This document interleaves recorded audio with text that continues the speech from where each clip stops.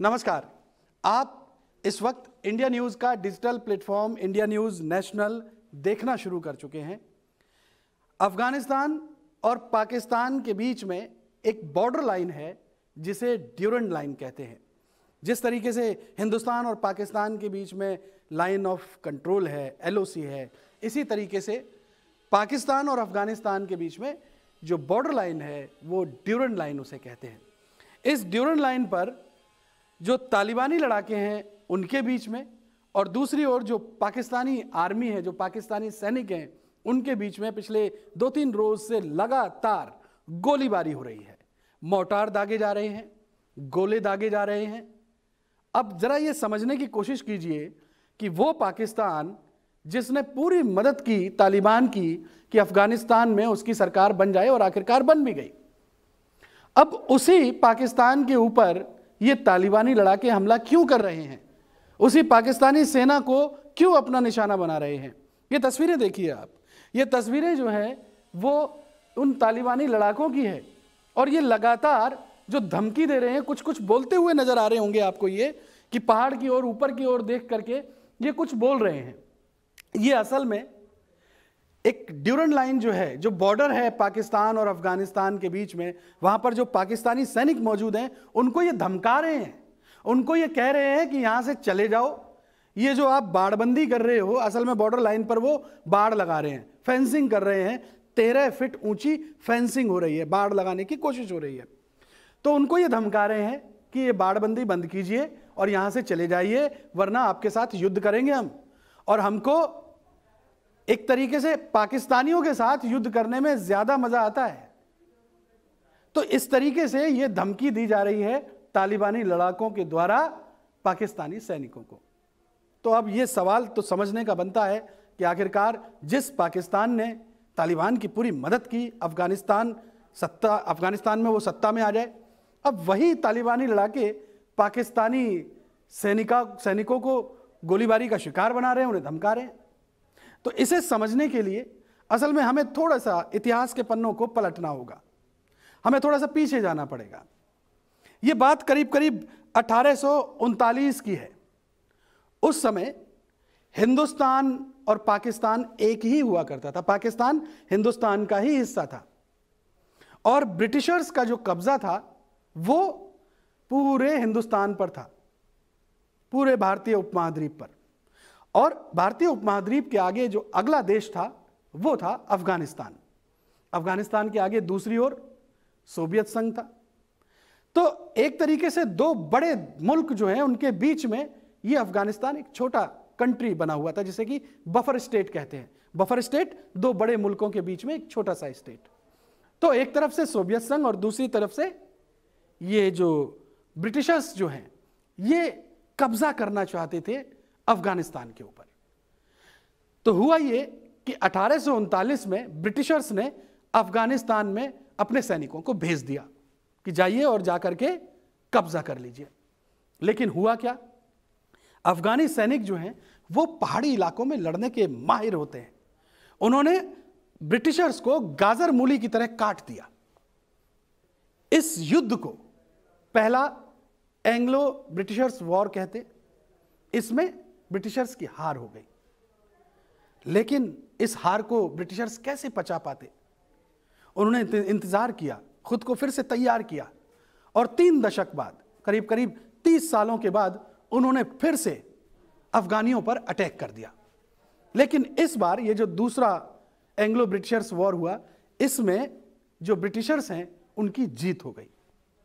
उन्होंने अफ़गानिस्तान पर कब्जा कर लिया।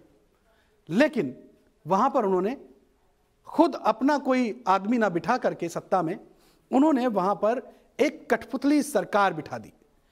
अब्दुल रहमान खान को वहाँ की सत्ता सौंप दी।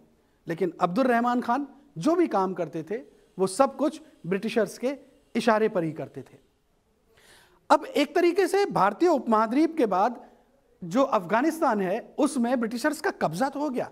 लेकिन ब्रिटिशर्स को हमेशा इस बात का डर रहता था कि कहीं अफगानी फिर से खड़े ना हो जाएँ और वो जो भारतीय उपमहाद्वीप में जो ब्रिटिशर्स हैं, उनको कोई खतरा ना पैदा हो जाए। इसलिए उन्होंने क्या काम किया? उन्होंने एक समझौता किया अब्दुल गफ्फार खान के साथ, यानी अफ़गानिस्तान के साथ, और उन्होंने भारतीय उपमहाद्वीप और अफ़गानिस्तान के बीच में एक सीमा रेखा निर्धारित कर दी कि साहब, ये बॉर्डर लाइन है, ये बॉर्डर लाइन है अफ़गानिस्तान और भारतीय उपमहाद्वीप के बीच में। अब इस, ये जो समझौता हुआ, ये समझौता हुआ अब्दुल रहमान खान और सर हेनरी मॉर्टिमर ड्यूरेंट के बीच में। यह पूरी 2700 किलोमीटर की एक रेखा है जो चीन से शुरू होती है और अफ़गानिस्तान के सरहदी इलाकों से होते हुए ईरान तक जाती है। इस 2700 किलोमीटर की रेखा को ही ड्यूरेंट रेखा कहते हैं। अब यह समझौता तो हो गया। अब इस समझौते के बाद असल में था क्या कि वो जहाँ पर ये रेखा खींची गई, ड्यूरेंट रेखा, जो अफ़गानिस्तान और पाकिस्तान को अलग करती है, वहाँ पर ज़्यादातर लोग जो हैं, वो पश्तून और पंजाबी हैं। अब वो पहले तो एक जैसे इलाके में रहते थे, लेकिन जैसे ही ये ड्यूरेंट रेखा खींच गई तो आधे भारतीय उपमहाद्वीप में आ गए पश्तून और आधे चले गए अफ़गानिस्तान की तरफ़। पहले ये लोग जब ये ड्यूरेंट रेखा नहीं थी तो बेझिझक एक दूसरे के घर में आया जाया करते थे, रिश्तेदारियाँ होती थी, शादियाँ होती थी, आवागमन बड़ा आसान था। लेकिन जैसे ही ये ड्यूरेंट रेखा बन गई तो उसके बाद क्या हो गया, बॉर्डर जब बॉर्डर तैयार हो जाता है तो आने जाने में दिक्कतें होती हैं। साल 1919 में अफ़गानिस्तान आज़ाद हो गया। उसके बाद 1947 में भारत का बंटवारा हुआ, पाकिस्तान अस्तित्व में आ गया तो हुआ यह कि वो जो ड्यूरेंट रेखा थी, वो जो बॉर्डर बना था अफ़गानिस्तान और भारतीय उपमहाद्वीप के बीच में, अब वो बॉर्डर चला गया अफ़गानिस्तान और पाकिस्तान के बीच में। तो यहाँ से जड़ शुरू होती है कि वो जो पश्तून लोग हैं, जो उस ड्यूरेंट रेखा के पास में रहते हैं ज़्यादातर, वो लोग एक तरीके से ये मानते ही नहीं कि ये ड्यूरेंट रेखा कुछ है। वो तो ये मानते हैं कि ये दो भाइयों के बीच में एक निराधार बंटवारे की लाइन तैयार कर दी है। वो इस बात को बिल्कुल खारिज कर देते हैं कि ये ड्यूरेंट रेखा कुछ है। अब इसी बात की लड़ाई है पाकिस्तान और अफ़गानिस्तान के बीच में। तो वो जो पश्तून लोग हैं, जो अब पाकिस्तान और अफ़गानिस्तान के दो हिस्सों में बट गए हैं, वो लगातार इस पश्तून स्टेट की मांग करते हैं कि साहब ये पश्तून स्टेट अलग है, इसको अलग कर दीजिए। अब इसी बात का विवाद है। आपको ध्यान होगा, जब पीछे अगस्त के महीने में तालिबानी लड़ाके लगातार पाकिस्तान, अफ़गानिस्तान में दाखिल हो रहे थे, पाकिस्तानी सरकार ने, इसी इमरान खान की सरकार ने पूरी मदद की थी इन तालिबानी लड़ाकों की। अफ़गानिस्तान की सरकार वहाँ से भाग खड़ी हुई और उसके बाद वहाँ पर तालिबान का कब्जा हो गया और आज की तारीख में तालिबान वहाँ पर राज कर रहा है। हुआ यह है कि इस खतरे से बचने के लिए कि ये तालिबानी लड़ाके जो हैं, जो पश्तून हैं, वो पाकिस्तान के लिए कोई बड़ी मुसीबत ना खड़ी कर दें सरहदी एरिए में तो पाकिस्तान की सरकार जो है, वो उस ड्यूरेंट लाइन पर फेंसिंग कर रही है। यानी बाड़बंदी कर रही है, तारबंदी कर रही है। तेरह फुट ऊँची ऊँची तार तारें लगाई जा रही हैं। इसी को लेकर के लगातार जो है, ये जो अफगानी लड़ाके हैं, जो तालीमारी लड़ाके हैं, वो पाकिस्तान की सरकार को चेताते हैं। अब सोचिए, बीते रविवार को पाकिस्तान के अंदर ओआईसी की मीटिंग हो रही थी। ओआईसी बोले तो ऑर्गेनाइजेशन ऑफ़ इस्लामिक कॉपरेशन, यानी मुल्क, पूरी दुनिया में 57 सत्तावन कंट्री हैं मुस्लिम, जो इस ओआईसी के हिस्से हैं। उनके विदेश मंत्रियों की मीटिंग बुलाई थी पाकिस्तान ने, और पाकिस्तान में वो मीटिंग हो रही थी और दूसरी तरफ़ ऐसी गोलीबारी हो रही थी बॉर्डर पर। तो ये लगातार गोलीबारी हो रही है और पाकिस्तान, जो कि तालिबान के लिए बहुत बड़ा हितैषी है, मददगार है, लेकिन अब वही तालिबानी लड़ाके जो हैं, वो पाकिस्तान के लिए मुसीबत बन रहे हैं। अमूमन एक कहावत कही जाती है कि जब पड़ोसी के घर में आग लगे तो हमको क्या करना चाहिए? हमें बचाव के रास्ते खोजने चाहिए। लेकिन पाकिस्तान है, वो तो कभी सुधरता नहीं।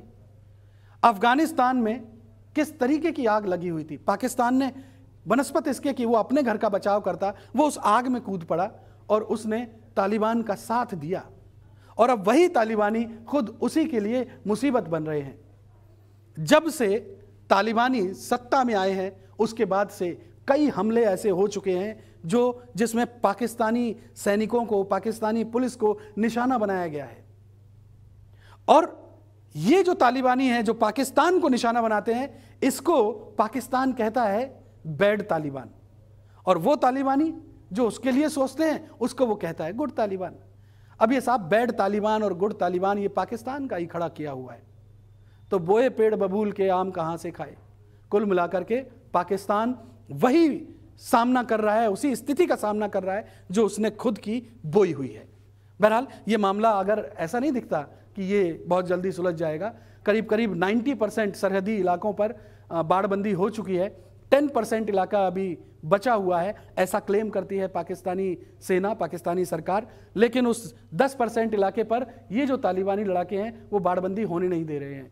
और जहाँ भी इनको मौका मिलता है, ये फ़ौरन वहाँ से तार बाड़ सब कुछ उठा लेते हैं और पाकिस्तानी सैनिकों को मार भगाते हैं और वो सारे बाड़, तार सब उठा करके अपने कब्जे में ले लेते हैं। तो ये लड़ाई अनवरत जारी है और आगे भी यूँ ही जारी रहेगी। बहरहाल, पाकिस्तान को लेकर के आपकी राय क्या कहती है? इसको आप कमेंट बॉक्स में ज़रूर लिखिएगा। आपको ये जानकारी, ये वीडियो कैसा लगा, इसे लेकर के भी आप कमेंट बॉक्स में अपनी राय ज़रूर साझा कीजिएगा और इस जानकारी को ज़्यादा से ज़्यादा लोगों तक ज़रूर पहुंचाइएगा। नमस्कार। अगर आपको हमारा ये वीडियो पसंद आया हो तो वीडियो को लाइक करें और चैनल को सब्सक्राइब करें और हाँ बेल आइकन को दबाना ना भूलें ताकि आप तक वीडियो का नोटिफिकेशन पहुँचता रहे। देश और दुनिया की तमाम खबरों के लिए देखते रहिए, इंडिया न्यूज़ नेशनल।